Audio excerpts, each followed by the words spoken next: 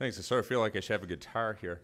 Um, I have to say, you know, when it was snowing, I was thinking, wow, that's great because now I have a really good excuse if only four people show up. So somehow you came out anyhow. I guess that's what a good, good economic crash will do. Um, what I want to do is, uh, I, I, won't talk that long because I won't have a lot of time for questions, but what I want to do is, is start quickly. First off, give sort of the basic story as what I see as the origins of the bubble economy then say a little bit about the stock bubble. I, li- I, like to be bipartisan here, so I get to trash both Clinton and Bush here. So I'll say a little bit about the stock bubble, and then the housing bubble, and then uh, obviously a little bit about the collapse and what I see as some of the key issues going forward, uh, including the stimulus bill that hopefully the House will pass tomorrow.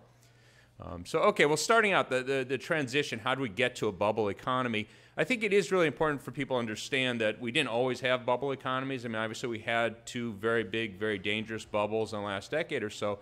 But if you look to the post war period, we had 30 years or so after World War II in which the economy had very healthy growth and really didn't have any significant bubbles to speak of. It didn't have significant financial bubbles. That doesn't mean there were never prices that were out of line, but you'd be very hard pressed if you look through the economy in the, the, the 40s, the 50s, the 60s, and into the 70s to find any sort of very erratic movements in asset prices that really disrupted the economy.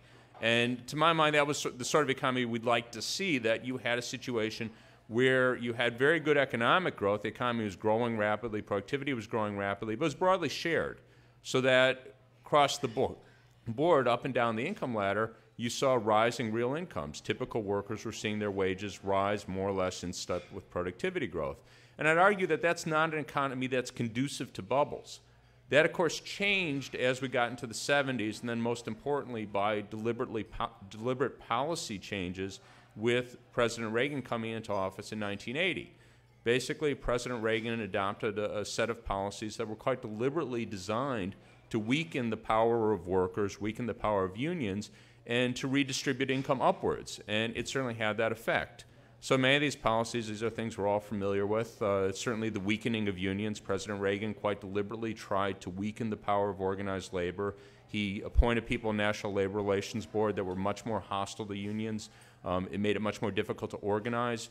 Um, everyone remembers the air traffic controllers. He fired the air traffic controllers when they went on strike. They really changed the norms of labor management relations because prior to the, the firing of the air traffic controllers, employers did not fire striking workers. It simply, you know, unless you're a renegade, it wasn't acceptable practice. The idea was that if you had a strike, you negotiated with your workers, you maybe operated with a skeletal staff, you kept some management personnel, but the deal was could you outlast your workers? Your workers weren't getting a paycheck, you weren't selling anything. That was the deal, that was the context in which negotiations took place. Immediately after President Reagan fired the air traffic controllers, there were a whole set of instances in which major companies, Eastern Airlines was one, uh, Greyhound Bus Company, where they fired their workers when they went out on strike. Totally changed the dynamics of labor relations. Going out on strike meant you could lose your job. It obviously made it a much more effective wep- a much less effective weapon for workers, for unions against employers. Well, that was part of a larger set of changes that the Reagan Reagan administration put in place that weakened the power of labor. It wasn't just the unions. Um, trade policy. We had a trade policy that was quite explicitly designed to put, to put our manufacturing workers in direct competition with low-wage, low-paid workers in the developing world. And the predicted effect of that, the predicted and actual effect of that, is that it drives down the wages of manufacturing workers in the United States. And in fact, because manufacturing at the time certainly was a, the major pace, place of employment of good-paying jobs for workers without college degrees, that had the effect of driving, driving down the wages of workers without college degrees more generally. Um, also, deregulation of major sectors like trucking, like the airline industry. Um, that also had the effect of weakening the power of workers in those industries. That, those were places where workers, non, non-college educated workers, had relatively good paying jobs. The high dollar, we had a high dollar in the 80s, I'll come back to this, we had a high dollar in the middle of the 80s, that led to a large trade deficit. Again, that, that impeded, impeded the competitiveness of our manufacturing industry, put more downward pressure on the wages of manufacturing workers. So we had a variety of policies that weakened the power of working people in the country. And what it meant was that workers no longer were in a position to share in the gains of productivity growth. So this created the environment, or so I would argue, it created the environment in which you could have a bubble economy. Prior to the Reagan era, you had a situation of this virtuous cycle where you had productivity growth translate into wage growth, translate into consumption, increased demand, increased investment, increased productivity growth, wages, et cetera.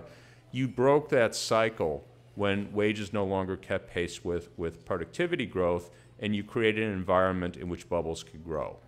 Okay, so when do we first start seeing the bubbles? Well, we didn't see any significant bubbles in the 80s. The bubbles first became an issue in the 90s with the Clinton administration.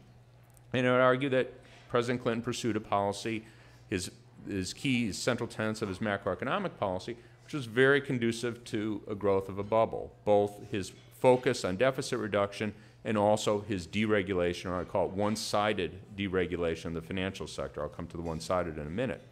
His, the central tenet of President, President Clinton's economic policy was deficit reduction. We have to get deficits down. And many of you may recall when he first came into office, he sort of was torn. We'll see how President Obama deals with this tension very shortly, I imagine. But he was torn between all these commitments he had made towards investing in people, putting people first, if you remember his platform. On the other hand, all the deficit hawks, led by Robert Rubin, who became his Treasury Secretary, of course, saying, no, we have to get the deficits down. That's what really has to be front and center. And of course, the deficit hawks were the ones that won out. He largely abandoned his public investment program, the idea of putting a lot of money into education, infrastructure, research and development, that was largely abandoned in favor of the deficit reduction side of the story. So what was that supposed to do? Well, the deficit reduction story was we get the deficit down, lowers interest rates, we're supposed to increase investment. And the increase in investment is supposed to make up for the lost demand. If we're, we're reducing the deficit, that means we're either raising taxes, which of course President Clinton did, and or cutting spending. He also cut spending. He did do both. Okay, so that's reducing demand. You make that up with increased investment. So that was sort of the classic story of what was supposed to happen. Okay, well, part of that did happen. We did get very low interest rates. So if you look back to the 90s, we did get very low interest rates. We did get some uptick in investment. But the real part of that story, what really happened and led the economy, the economic growth, which we actually obviously did have very good economic growth towards the end of the 90s, what really led that was the stock bubble. So we had a very low interest rate environment. That was one that was very conducive for the growth of the stock bubble. And we saw that stock prices hit levels, ratios to corporate earnings that we'd never seen before, at least not since the 20s. I'm not expert enough on what the 20s looked like, so I couldn't tell you price earnings ratios then. But historically, the price earnings ratio in the stock market had been around 14, 14 to 1, 14 to 15 to 1. So stock prices were equal to roughly 14 times corporate profits. In the late 90s, that rose over, to, over 20 to 1 by 95, and by the end of the decade, it had crossed 30 to 1. Okay, this should have been easy to recognize as a bubble, by the way. It didn't have to, it didn't take a great genius. A lot of people were surprised. They lost a lot of money. They probably deserved it, at least many of them. Um, but it, it should have been easy to recognize when you saw price earnings ratios that got to these ridiculous levels in the late 90s. I, am saying this remembering that I had to argue with a lot of people because there are a lot of people who thought it was a great idea to put Social Security money in the stock market back then. They just said, we'll just put it there and we'll all be rich. Um, you know, but it should have been easy to recognize that you had a stock bubble in the late 90s, but for the most part, certainly the folks, uh, the policy people here in Washington, for the most part, didn't recognize that, and they continued to act like, oh, everything's just fine with the stock market.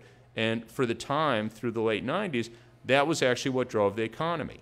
So if you look at what were the sources of growth in the late 90s, there was a little bit of an increase in investment. So you actually had reasonably good investment. That story is exaggerated because a lot of the, the Clintonites will like to say, oh, investment soared. That's not true. And I could tell you more carefully about why that's not true. But there was some uptick investment. Some of that was directly related to stock bubble. So for one, it was one of these rare occasions where stock purchases, stock prices actually led to investment because you had the classic story of companies selling stock, the internet companies selling stock and using that to finance investment. That's not usually something that happens. That did happen a little bit in the late 90s. But what really fueled the economy, the strong growth that we saw in the late 90s, was consumption based on stock wealth.